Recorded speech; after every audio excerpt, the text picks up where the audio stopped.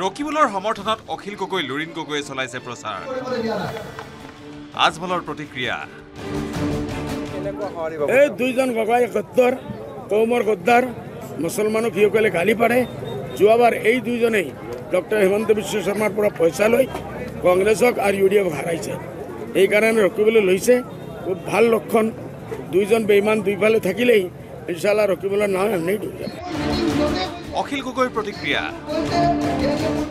এইবাৰ বদৰুদ্দিন আজমল ডাঙৰীয়া তিনি গগৈ অহাৰ প্ৰয়োজনে নাই।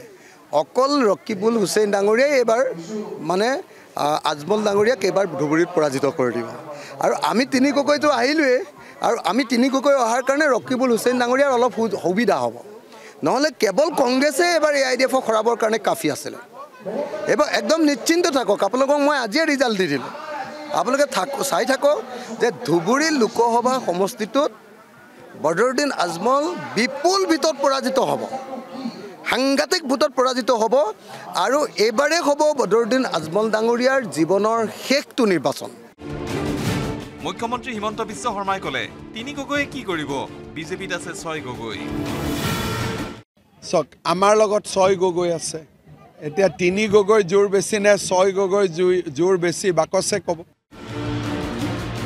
News desk news eighteen Assam north east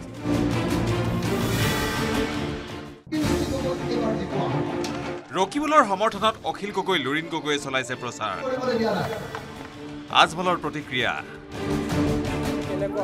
এই দুইজন গগাই গদ্দাৰ কৌমৰ গদ্দাৰ মুছলমানক সিসকলে গালি পাৰে।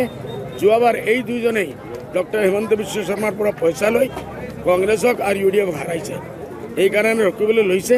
খুব ভাল লক্ষণ দুইজন বেইমান দুইফালে থাকিলেই ইনশাল্লাহ ৰখিবলৈ নহয় এমনি দুইজন অখিল গগৈৰ প্ৰতিক্ৰিয়া। এইবাৰ বদৰুদ্দিন আজমল ডাঙৰীয়া তিনি গগৈ অহাৰ প্ৰয়োজনে নাই। অকল ৰকিবুল হুছেইন ডাঙৰীয়াই এইবাৰ মানে আজমল ডাঙৰীয়াক এইবাৰ ধুবুৰীত পৰাজিত কৰি দিব। আৰু আমি তিনি গগৈটো আহিলোৱেই আৰু আমি তিনি গগৈ অহাৰ কাৰণে ৰকিবুল হুছেইন ডাঙৰীয়াৰ অলপ সুবিধা হ'ব। নহ'লে কেৱল কংগ্ৰেছে এইবাৰ এ আই ডি এফক হৰাবৰ কাৰণে কাফি আছিলে। এইবাৰ একদম নিশ্চিন্ত থাকক। আপোনালোকক মই আজিয়ে ৰিজাল্ট দি দিলোঁ। আপোনালোকে থাক চাই থাকক যে ধুবুৰী লোকসভা সমষ্টিটোত বদৰুদ্দিন আজমল বিপুল ভোটত পৰাজিত হ'ব। সাংঘাতিক ভোটত পৰাজিত হ'ব আৰু এইবাৰেই হ'ব বদৰুদ্দিন আজমল ডাঙৰীয়াৰ জীৱনৰ শেষটো নিৰ্বাচন। মুখ্যমন্ত্ৰী হিমন্ত বিশ্ব শৰ্মাই ক'লে তিনি গগৈয়ে কি কৰিব? বিজেপিত আছে ছয় গগৈ। চাওক আমাৰ লগত ছয় গগৈ আছে। এতিয়া তিনি গগৈ জোৰ বেছি নে ছয় গগৈ জোৰ বেছি? বাকচে ক'ব news desk news eighteen Assam north east